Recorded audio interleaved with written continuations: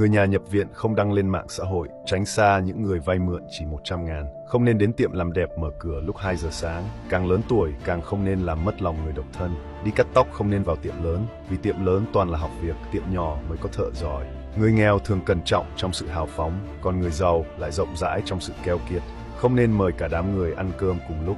Điều này chẳng có ý nghĩa gì, nên mời từng người riêng lẻ, người ta mới sẵn lòng chia sẻ với bạn. Đừng nói tình hình tài chính của mình cho người khác biết. Bạn giàu người ta ganh tị, bạn nghèo người ta khinh thường. Đừng kể bí mật cho bạn thân, vì bạn thân cũng có bạn thân. Tôi kể bạn nghe một câu chuyện, bạn sẽ hiểu. Có một ông giàu trong làng uống say, đi khoe khắp nơi năm nay nuôi cá, kiếm được 300 triệu. Một tháng sau ao cá của ông bị bỏ thuốc, cá chết gần hết, lỗ vốn nặng.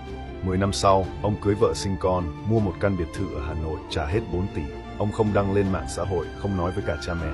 Về quê ăn Tết, cô hỏi ông làm ăn ra sao. Ông bảo bây giờ công việc bấp bênh, tháng được hơn 10 triệu, có khi còn không đủ 10 triệu. Cô nghe xong cười tươi, họ hàng bạn bè cũng vui mừng. Chuyện nuôi cá năm xưa giúp ông trưởng thành vì nơi không có đèn đường, đêm tối đầy dãy thú hoang. Con trai tôi đỗ đại học, tôi không khoa trương, không đại tiệc. Sau khi tốt nghiệp, con trai tôi lương 100 triệu. Họ hàng hỏi, tôi bảo đủ ăn. Con trai tôi mua cho tôi cái áo lông vũ giá 3 triệu.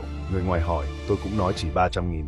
Con trai không hiểu, hỏi tôi, bố sao bố lại khiêm tốn vậy? Tôi bảo, con biết bác Lý trên lầu là mẹ vợ của một nhân vật lớn không? Người ta không bao giờ nói ra, vì trên đời này, người mong con sống tốt chỉ có cha mẹ. Chuyện vui đừng kể cho người khác nghe, vì họ sẽ không vui cho con, chỉ ganh tị con.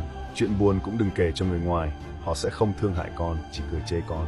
Hãy luôn nhớ rằng, bản chất con người là không muốn ai hơn mình, nhất là những người từng không bằng mình. Sống phải học cách làm việc nổi bật, nhưng sống khiêm nhường. Nhớ rằng giàu nhờ thận trọng, giàu nhờ mưu lược, lợi nhờ tình thế, không phải nhờ sức mạnh hay mánh khóe, không có thủ đoạn thông thiên, sao có được của cải kích xù. Trước khi mưu sự, phải hiểu người, nhìn thấu nhân tính, bạn mới có thể đứng vững không thất bại.